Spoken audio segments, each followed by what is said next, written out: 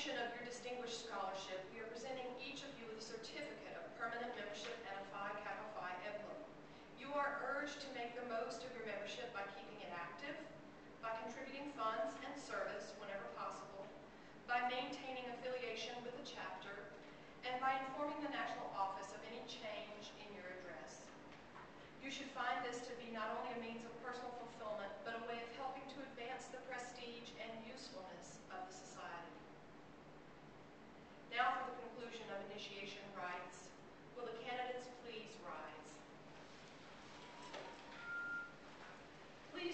after me the motto of the society. Let the love of learning rule humanity. Let the love of learning rule humanity. By virtue of your superior scholarship, supported by good character, by virtue of what you've achieved and what you are, a combination of qualities which led to your election